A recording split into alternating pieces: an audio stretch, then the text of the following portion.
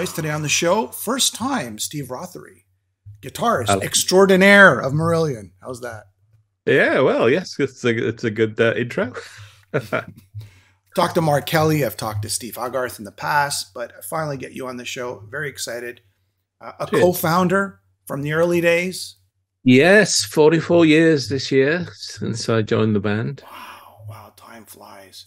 Just to give everybody a quick update Marillion weekend in Italia, April 28th to 29th. Montreal, that's where I'm at, May 12th to 14th. UK 27 to 28th of May. And Berlin, Germany, 23rd to 24th. And I guess my first question to you is since we're kind of pushing the Montreal angle a little bit, and we'll have a little bit of trivia for everybody. Let's see what's how Steve does on the Montreal trivia questions. I'll, I'll, I'll toss them in between questions, okay? First question is What is this relationship that Marillion has had with Montreal? Uh, tell me about the relationship Marillion's had with Montreal over the years. Uh, well, it goes way back to the first time we played there, back I think in 1984, uh, mm-hmm. the Spectrum. Um, it's always been an amazing audience. It's always been the highlight of of any tour of of the states and Canada. Really, um, incredible. I mean, the the first live album we recorded, part of that was recorded at the Spectrum, um, Real to Reel back in '84. Um, yeah, just magical. I mean, we've had so many fantastic shows in Montreal over the years.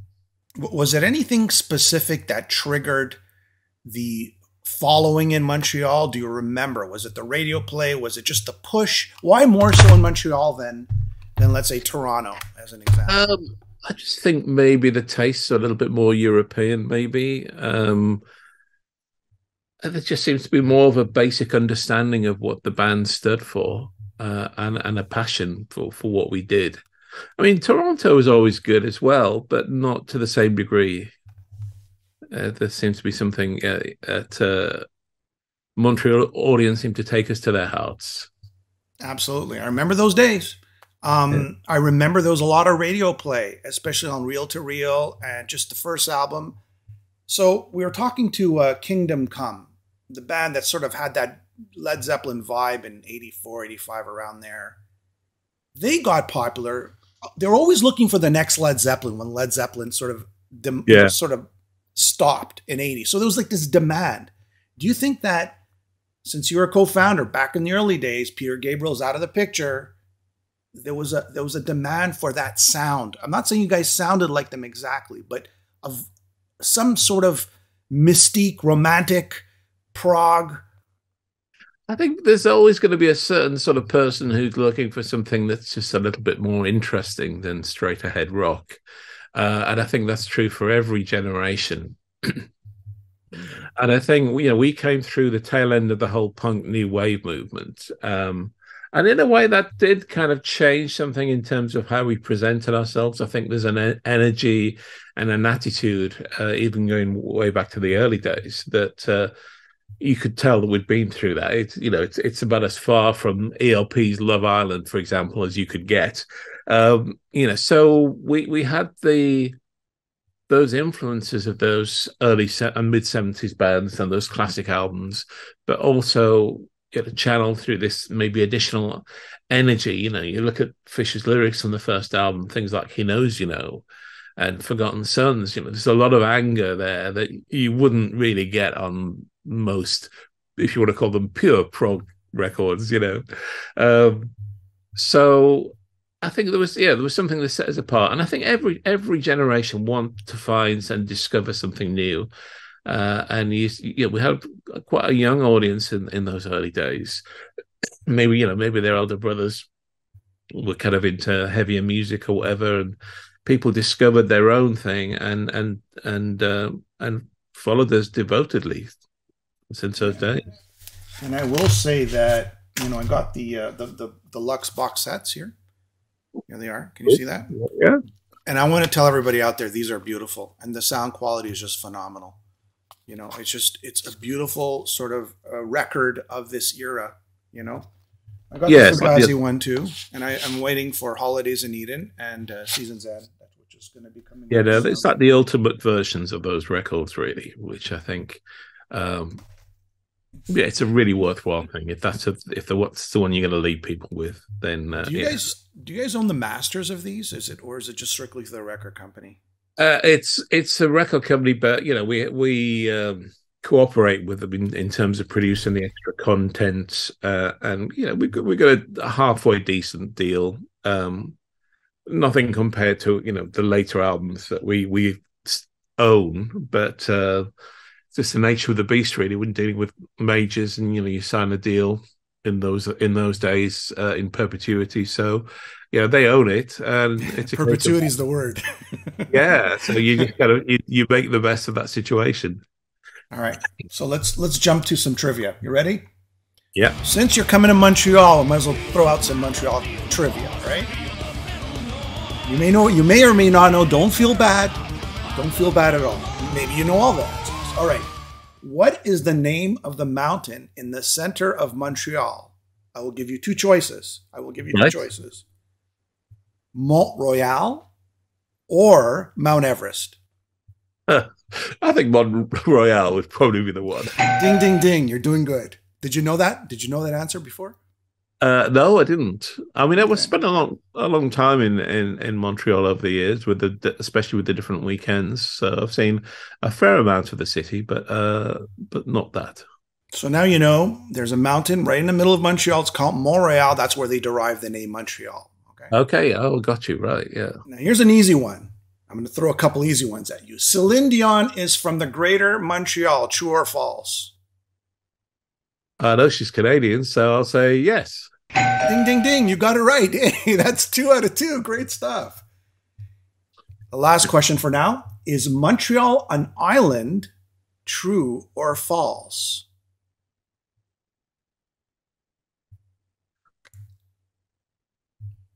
True. You got it. True, it is. Montreal is an island.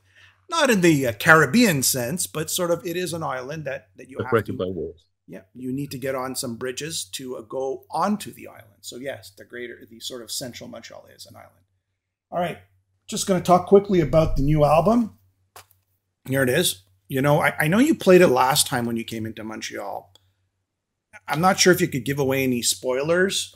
Um, are you going to be playing a big part of the the album? You know, um, this time around. I mean, are yes. you going to do the same thing more or less?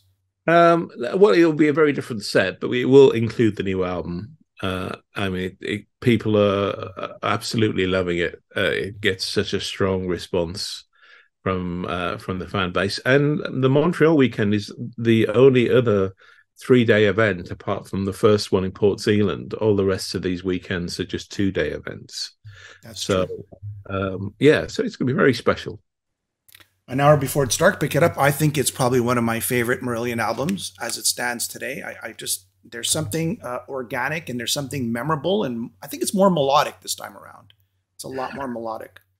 Yeah it's it's just amazing really. It's it's like i says how it it came together and you know mike hunter the producer has to take a lot of credit for having the vision uh, but then when you you had all these um, different elements in like the choir, um, yeah. and you know it kind of raises the music up a different level. I mean, I did my guitar solo at the end of Crown Nightingale before the choirs had been added. So then to to hear the final mix with those as well, it, it's it's uh, quite emotional, really. It is, especially uh, post COVID, when you listen to it, the lyrics really resonate with sort of the losses that happen and the confusion.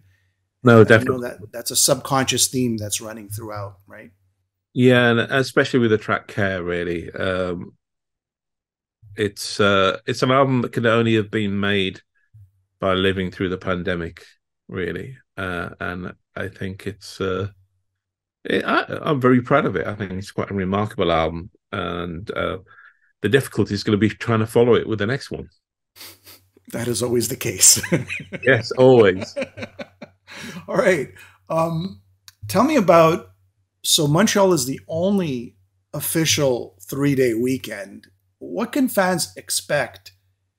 You know, say somebody wants to go to this weekend. What can they expect if you had to just sort of like to pitch them in 30 seconds? Yeah, uh, well, it's yeah, like I say, it's a second three day event after the, the, the first original one in Port Zélande, but it's it's a full-on marine experience, really. I mean, we have the best audience in the world, um, so there was a, a, passion and the excitement for the music. Um, I think is very, very rare these days. Um, you know, it's a great live band, great light show, and uh, it's a party really for the people who who like good music. Are there sort of like afternoon events? I remember last year there was like a book signing during the day. I think it was Mark Kelly who was signing. Little yeah. are there little sort of events that are going out on throughout the day or not? Uh, I don't know actually. I haven't I haven't seen the timetable. Um, I mean, there's normally like unofficial things that are happening, like down at the Brutopia pub. Um, so I'm sure there'll be some things that are, that, are happening, but I haven't I haven't actually had the the timetable. Let's get Lucy on the horn. We'll get. All right. Uh, just quickly, I'm going to be jumping back and forth throughout time. Uh, uh, as a big Marillion fan growing up, big Iron Maiden fan growing up, Rod Smallwood was your, I guess, your official or non-official consultant in the U.S. back in the day. Tell me about that relationship and and I'll tell you where I'm going with this because there's a lot of metalheads who are Marillion fans and a lot of you know prog fans who are metalhead fans. So it's you know it's yeah absolutely. I mean I think people um, can enjoy a wide spectrum of music. Um, yeah, Rod, Rod's uh, a real character. Uh, he yeah, John Arnison brought him on, along as like a consultant manager uh, in that time in the uh, 80s when we were trying to break America. Um, kind of known him since those days. I mean, there was a period after we uh, left John Arnison and Hit and Run Management where uh, Sanctuary managed us for for a, a year or two. Um, and uh, yeah, he's he's one of a kind. was was the whole sort of marketing of of Rod guys, let's also get in Kerrang. Let's also appeal to those hard rockers, metalheads at the time. Um, the imagery. No, that, yeah, no, that just came about quite naturally. I think we, we were maybe partly because of the logo was so distinctive on on on the the first records. Um, you know, you'd see people with their denim jackets or their leather jackets with the logo written or or painted on. I think so. There's a very strong identity uh, and it's you know that's a, wanting your own thing, wanting the uh, your own new band for your generation. Um, but then you know we had um, tracks like Kayleigh and Lavender in the top of the heavy metal charts, which obviously is about as far from heavy metal as you could get. But it was just like it was rock fans, really. I would say more than heavy metal fans, just people who who like to hear guitars, who like music with a bit of attitude, and uh, yeah, I think there was there was quite a crossover, um, especially in the Fish years, um, with that kind of audience. Tell me about uh, Mick Pointer uh, and his sort of his stay and what, what, was and again you know I, I followed arena as well and i know you even guessed it on arena uh, yeah. i believe it was a guitar solo on one of the tracks. I mean is the relationship still is, is it still strong today or is it you guys are amicable or? Um yeah i saw mick for the first time when when we are doing the uh filming for the documentary to go along with the the uh, Script for a Jester's Tear uh reissue. I saw him very briefly. It's the first time i'd seen him in i don't know 10 or 15 years. Um so there's not really a kind of relationship there uh, as such. Um, you know, it was making the original uh, bass player, um, Doug Irvine, who who was was Marillion or still Marillion in those days when I auditioned and joined back in 1979. Uh, and, yeah, I always got on really well with Mick. It's just parts of his personality that could be a little bit prickly. Um, but uh, when Fish joined, it was it was a bit of a clash of egos between the two of them, really, where they both thought of, thought of the band as being their band, and uh, uh, of course, they were wrong. It was my band, uh, but uh, it was just one of those things, you know. Mick, I think, was a little complacent. Um, uh, he, he wasn't the most natural drummer in the world. Um, you know, he had a certain flair, but it, but he wasn't a very technical player, and we came up, up against quite a lot of limitations recording the first album script for Jester's Tear, uh, and then like this personality conflict um, between him and, and and Fish got to that point where you know there had to be a change, really. Is it true you wrote most of the music on the first few albums? Who? Mick. You, you, you. Oh, you, me. you, I was going to say, yeah. Um, Mick, you. yeah, uh, yeah. I mean, the there's parts of script um, that I wrote more of. Uh, sections, big sections, like in in the, the web of Forgotten Sons. Uh, parts of script itself. Um, quite a lot of Chelsea Monday, I suppose.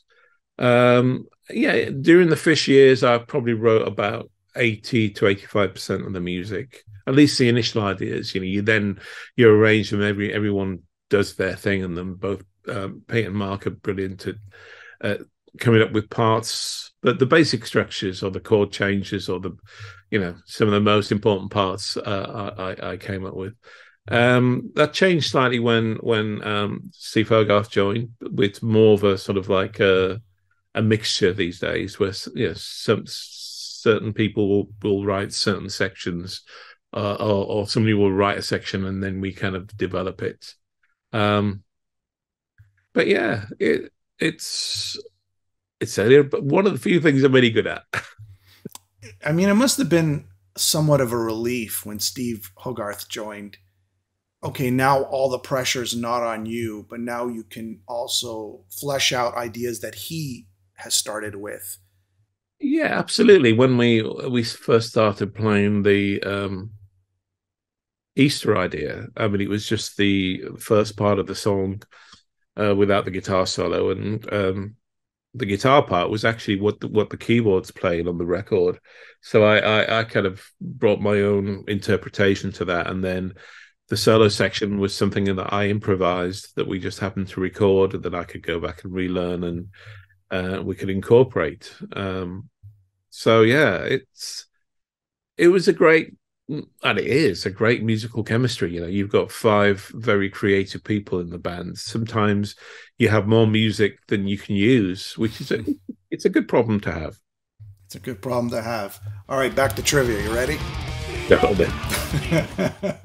Frank Marino of Mahogany Rush is from Montreal. True or false? Uh, true. Yeah, Frank Marino is from Montreal and he still lives here.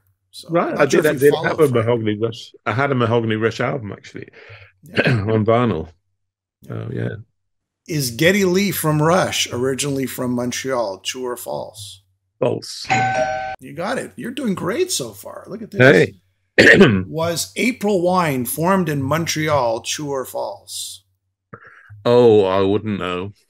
Uh, true. Nope. It's it, it's somewhat true. It's actually they formed in Halifax on the East Coast, but then came to Montreal to sort of break the band. Oh well. I'm not sure if you're an April Wine fan or not. No, not really. Okay. All right. Here we go. Who was not a Montrealer? Who was not a Montrealer? Leonard Cohen, Oscar Peterson, or Alanis Morissette? Not. I'll say it again. Leonard Cohen, Oscar Peterson, the jazz pianist, or Alanis Morissette? Mm. Tricky one, huh?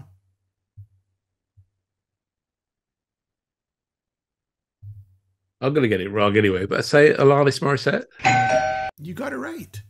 Ah. Leonard Cohen, yep, grew up in Montreal, was raised in Montreal, recorded in Montreal, and then of course he went off to greater pastures, passed away. Oscar Peterson from Montreal, from immigrant parents, and he even has like a um, an auditorium named after him in in you know uh, in the University of Montreal here. Right, I remember he used to have a, a TV show in the UK, uh, and I remember yeah Keith Emerson appearing on it. Oh yeah, all right. Tell me about uh, Steve Hackett now.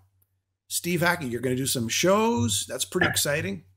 Uh, yeah. Well, Steve and I have been working um, on a project together for quite a long time now, uh, which I've tried to move forward recently. We had another session uh, a few months ago uh, based on some music we did together of six years ago uh, on the previous writing session.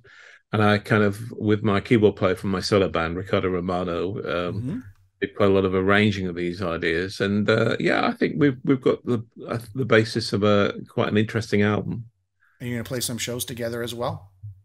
It really depends. I mean, he's so incredibly busy, and and my timetable with Marillion keeps keeps me pretty busy. I mean, I sneak in some solo shows um, occasionally. I've, I've, got a few throughout Europe uh, in June and September, October this year. Um, but generally speaking, yeah, Marillion is a pretty much a full time. I'm in the middle of making three different projects at the moment outside of Marillion. This mm-hmm. album with uh, Steve Hackett, by Reverend Toulé's space themed instrumental album, and an album with Thorsten uh, Quaeschning from Tangerine Dream. So uh, I'm keeping busy.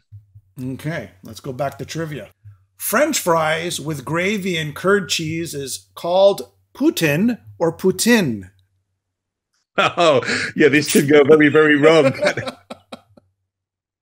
Uh, Putin or Putin? Putin. You got it, my friend. It's a good. It's a good choice. It's a good answer. Yeah. Is Montreal best known for Philly steaks, Philly cheesesteaks, or bagels? Um, well, I don't think I've had either there, so that's a really difficult question. Um, Steve, Steve, Steve, Steve. You haven't had a Montreal bagel? Yeah. There's a hint right there. Oh, well, I think it's going to be bagels then. so Montreal is known for its bagels. So when you come to Montreal, make sure to pick up some bagels. Will do. They're iconic. If you like bagels, maybe you don't like yeah, bagels. Yeah, yeah. No, uh, love love uh, bagels. Yeah, I'll be there for a week, so uh, I'll make sure I will try one out. All right. Is Montreal best known for smoke meat or smoked meat? Is Montreal best known for smoke meat or smoked meat? Smoked meat. You got it, my friend. Everybody gets that wrong, even in Montreal. People say smoked meat. It's not smoked meat, it's smoked. That's the proper yeah. English. That's why I have an Englishman on. Yeah.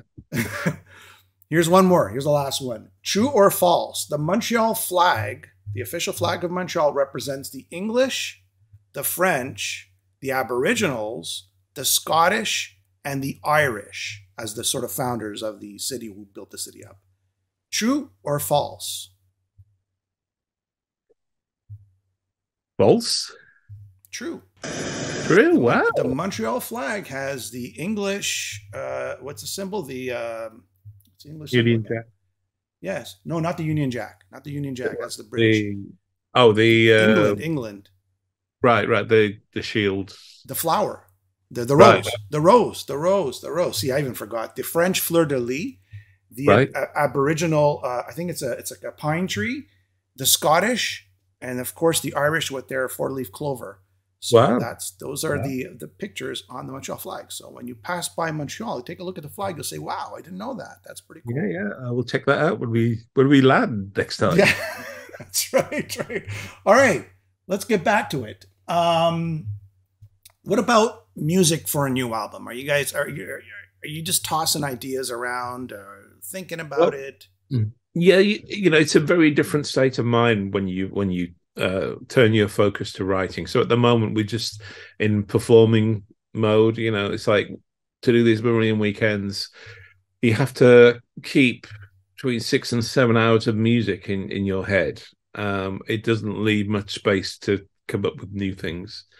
Uh, having said that, I mean, there were some ideas from the last album that we didn't use uh, that we might well revisit. There's one complete song uh, that was great, but just wasn't didn't fit in with with the rest of the stuff for the for the record. So um, we're probably going to be spending most of uh, 2024 writing, and then probably start recording towards the end of it. Hopefully for a release in 2025. But you know, when you when you spend six to eight months of the year rehearsing and then playing these weekends around the world, it it doesn't leave much time to do anything else. Yeah. All right.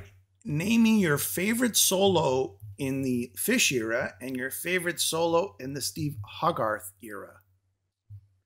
Uh, oh, in the Fish era, probably uh Incubus, because that's the first solo I felt, mm. Felt like I really kind of defined what it was I wanted to do on the guitar.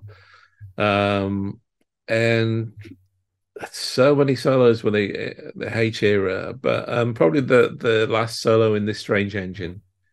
Uh, always oh, yeah. an amazing response.